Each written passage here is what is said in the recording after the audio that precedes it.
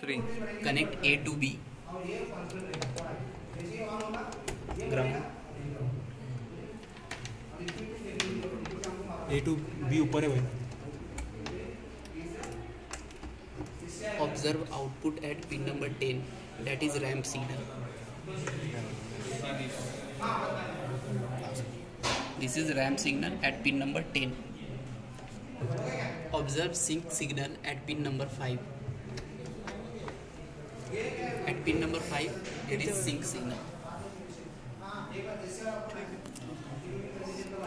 यहाँ खत्म होता है एक्सपेरिमेंट नंबर लास्ट